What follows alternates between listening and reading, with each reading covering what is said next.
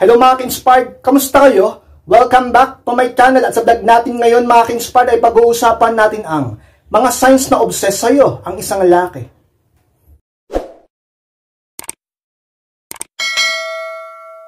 At kung handa na kayong lahat mga Kinspired ay mag-start na po tayo at muli, be inspired!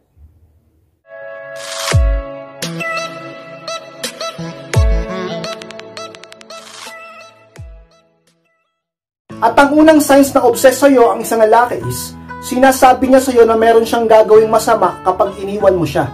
O pumakins ang isa sa mga signs talaga, kapag ang lalaki ay obsessed sa'yo, talaga namang tinatakot kanya ka-inspired.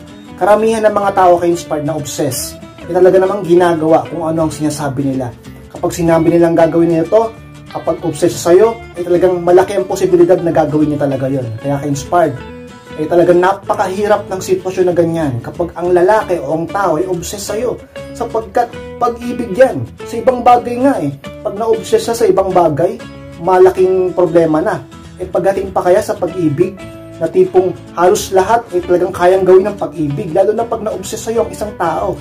At kapag ang isang lalaki talaga nang na-obsess sa'yo sigurado ako tatakutin ka niya ka-inspired na may gagawin siyang masama sa sarili niya, sa ibang tao o baka sa'yo pa kapag iniwan mo siya. At isa nga yun sa mga signs ka inspired. Na-obsess sa'yo ang isang lalaki. Sinasabi niya sa'yo na meron siyang gagawing masama kapag iniwan mo siya. At ang pangalawang sign mga ka-inspired na obsessed sa'yo ang isang lalaki is, grabe siyang magalit kapag may kausap o kasama kang ibang lalaki. O kung mga ka-inspired, hindi niya muna inaalam o talagang sinisigurado kung talaga namang may ginagawa kang masama o nanlalalaki ka. Baka namang kaibigan mo lang o kamag-anak mo pa, pero ka-inspired hindi natin masisisi sapagkat kapag ang isang tao isang lalaki obsessed sa'yo, yun sa mga palatandaan o signs nga. Isa sa mga signs kay inspired, grabe siya magalit, gusto niya, siya lang halos ang kinakausap at kasama mo. Ayaw niya na nakikipag-usap o sumasama ka o makikipag-banding ka man lang kahit sa mga kamag-anak mo, kahit sa mga kaibigan mo, sa ibang lalaki. O pumak-inspired, grabe siya magalit kahit wala ka namang ginagawang masama kahit kaibigan mo lang yon, kahit kakilala mo lang yon, kahit wala ka namang ginagawang mali. Ayaw niya hanggat maaari at nagagalit siya kapag may kausap o kasama kang ibang lalaki ka-inspire. Ang mga obsessed na tao sa pag-ibig, lalo ng mga lalaki, ay nagiging selfish ka-inspired sa babaeng mahal nila. At ang pangatlong sign mga ka-inspired na obsessed sa'yo ang isang lalaki is, sobrang bantay sarado kanya at para bang wala siyang tiwala sa'yo o pumakinspart kapag ang lalaki obsessed sa'yo, isa nga sa mga signs is bantay sarado ka niya. Na halos kang kung minsan eh, yung cellphone mo, o kung ano pa may mga gamit mo, inaalam niya pa, tinitingnan niya pa, at tila ba wala siyang tiwala sa'yo. Ganun yun kay inspired kapag ang lalaki ay talaga namang obsessed sa'yo. Talaga namang gagawin ng lahat, mabantayan ka lang, mabakurang ka lang, kasi nga selfish na siya. Selfish na siya kasi gusto niya, siya, siya lang, siya lang, siya lang. Obsessed nga kay inspired eh. Nagagalit talaga siya talagang tamang hinala, talagang seloso, nababaliw na ka-inspired, wala na sa tamang pag-iisip. Kasi nga obsessed. Pag obsessed ang isang tao, wala sa tamang pag-iisip yan. Tandaan nyo yan ka-inspired.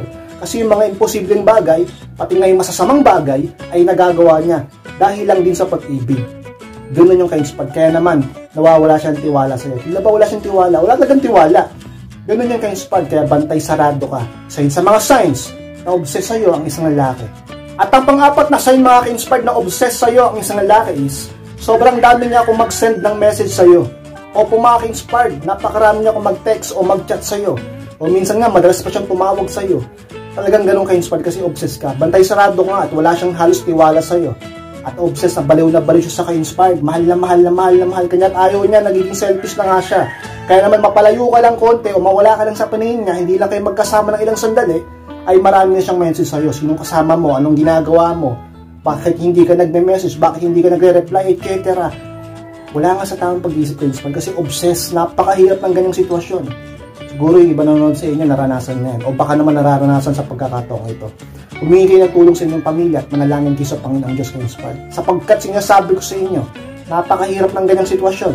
Kapag ang partner yung lalaki, asawa man yan o boyfriend mo, ay obsessed sa'yo ka-inspired at ang panglimang sign mga ka-inspired na obsessed sa'yo ang isang lalaki masyado siyang OA o exaggerated kung pumuri sa'yo.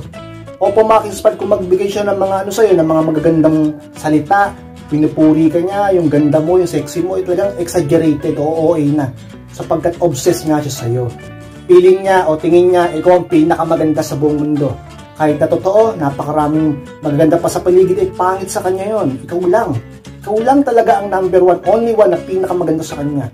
Kaya naman, sa mga mata niya, wala na siyang hanapin iba. At bawat uh, personality mo, bawat itsura mo, buhok mo, damit, lahat, kung ano mong suotin mo, eh, gandang-ganda siya sa'yo ka-inspired. Tandaan niyo yung ka-inspired. Pag-obsess sa'yo ang isang lalaki, o ang isang tao, eh talagang grabe siya kung pumuri sa'yo Tipo bang napaka-OA niya na? Tipo bang exaggerated na at palagi ka pa niyang uh, pinupuri kahit na parang sobra-sobra na OA na nga ka-inspired. Ikaw ang pinakamaganda sa mga mata niya. At ang pang-aling na sa'yo mga ka-inspired na obsessed sa'yo ang isang lalaki is palagi siyang merong pinagseselosan sa iyong mga social media account. O pumakins pag lalong lalo siyempre sa Facebook. O kung ikaw vlogger ka, yung mga nagko-comment sa'yo. O kaya naman eh, sa Instagram o TikToker ka at kung, kung ano pa mang social media account mo na mayroong lalaki na pumupuri halimbawa o nagbibigay ng magandang uh, advice o puri sa'yo, eh talagang ka-inspired, nagsiselo siya doon. Pinapablock niya. Tama, pinapablock. Minsan, siya pa yung nagre-reply. Sinasabihan niya na masama. Minsan yung iba, minumura pa. Eh gusto niya, eh talaga namang sobrang seloso, inspired. Sobrang seloso. Mapa-personal man, mapa-personal o mapa-social media, binabantayan kanya ka-inspired. Bantay sarado nga at tila ba walang tiwala sa'yo. At ayaw niyang kumausap ka ng iba, lalong lalo may kasama kang iba. Kahit sa social media, ka-inspired, yung mga nagko-comment, yung mga nag-heart, bantay sarado niyan. Obsessed sa'yo ka-inspired, ina-stalk ka nga eh. Pero yung mo, boyfriend mo na, asawa mo na, in-stalk ka pa. Bawat mga social media account mo, bantay sarado niya. Alam niya, ang lahat ng mga nagpa-follow sa'yo. Totoo yan ka-inspired, ganyan kapag obsessed, grabe yan. Grabe yan ka-inspired mag-isip. Kasi nga pag-ibig ang pinag-uusapan dito. Ang mga imposible at kaya nilang gawing posible yan. Yung mga imposible, yung mga obsessed na tao, lalo na yung mga obsessed na lalaki.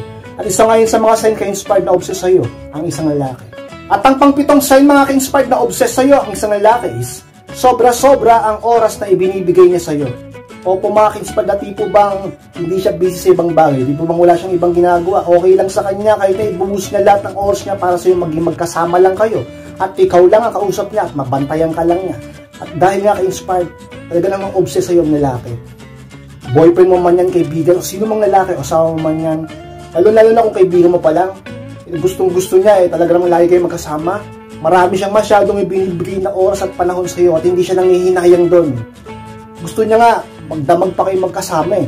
Ayaw niya nga, ang mga obsessed na lalaki kasi sa isang babae, ayaw nawawala sa palingin niya yan. Hanggat maaari gusto niya laging kasama yan.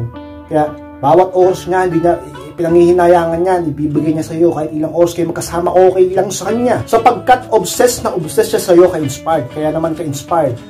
Mag-ingat kayo. Pag ang lalaki ay sobra-sobra, kahit na may gagawin na kayo, kahit na sobrang busy na kayo, kahit na kailangan niya ng umuwi, kahit na kailangan niya ng gawin ng isang bagay, ay ayaw niya pa rin, gusto niya pa rin magkasama kayo, mag-ingat kayo ka-inspired. Eh, ang lalaki niyan obsessed sa inyo. Pangwalong sign mga ka-inspired na obsessed sa iyo ang isang lalaki is, palagi ka niyang pinaghihinalaan at ang ibang tao. Opo mga ka-inspired, isa to sa pinakamatindi ng mga sinyalis ng isang obsessed na lalaki sa isang babae. Palagi ka niyang pinaghihinalaan, kaya lagi ka niyang inaaway. Pati ang ibang tao na nananahimik, ay inaaway niya na rin. Nagiging skandaloso na siya at palaaway. Lagi nang may gulo. Ganun yung ka-inspired. Minsan nga nakagawa talaga ng mali, nananakit na nga eh. Ang kapwa niya, minsan nga ikaw pa sinasaktan kapag lagi naghihinala talaga, sobrang hinala yan. Pag obsess sa'yo ang isang lalaki, kahit na kitang-kita naman na wala namang ginagawang masama. At yung ibang tao, nakaupo lang, eh, nakipag-usap ka lang saglit, biglang sasapakin. At kung ano pa mang gagawin niya. Obsess ang lalaki yun pagka ganun, ka-inspired. Wala nga sa tamang pag-iisip pa mga obsess yan eh. Ka-inspired, bigla-bilang nananakit, bigla-bilang minumura yung tao. Nananahimik lang naman Kinausap ka lang, tinanong ka lang, nagtanong lang ng direksyon, nagtanong lang ng daan, ng address. Bigla-bilang gaganunin niya, gagawa ng masama, umumurain. Ka-inspired. Isa sa mga signs, palagi niyang pinaghihinalaan, ganun din ng ibang tao, ka-inspired. At ang pangsyam at pinakamatinding signs ka-inspired na obsessed sa iyo ang isang lalaki is, nagagawa niyang manakit at manira ng buhay ng ibang tao dahil lang sa iyo. O pumakinspired dahil lang sa iyo ay handa siyang sumira o manakit ng ibang tao pati manira ng buhay ng ibang tao. Ganyan katindi kapag ang isang tao ay obsessed. Ganyan katindi kapag lalaki ay na-obsess sa isang babae dahil sa pag-ibig. Talaga namang handang manak talaga eh. Naninira ng buhay ng iba ka-inspired. Social media, sinisiraan sa ibang tao. Minsan nananakit pa. Kung ano-ano pa. May nabalitaan nga ako, nanunod pa ng bahay. Dahil lang sa selos, tamang hinala. Inspired, handang manira ng buhay ang isang lalaki. Handang manakit. Minsan nga, handang kumitil ng buhay. Handa rin titilin ng buhay niya. Dahil lang sa'yo. Sa pagka-obsess niya sa'yo. Tutuldukan niya yung buhay ng iba, tutuldukan niya yung buhay mo. Nakakatakot yung inspired. At isa nga yun sa pinaka-science na-obsess sa'yo ang isang lalaki. Kaya niyang manakit at manira ng ibang buhay. Kahit buhay niya, buhay mo, alang-alang sa pag-ibig niya sa'yo. So mga kinspert, yun lang po na maraming salamat po mga kinspert sa pagtapos po ng vlog na ito. Please huwag niyo pong kalimutan na mag-like, comment, and share na rin po upang makatulong din po tayo sa iba at sa mga hindi pa po nakasubscribe.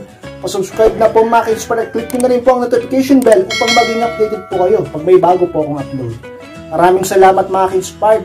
Manalangin kayong palagi, mag-iingat kayong lahat, mahal ko kayo at namiss ko kayo. At muli, be inspired!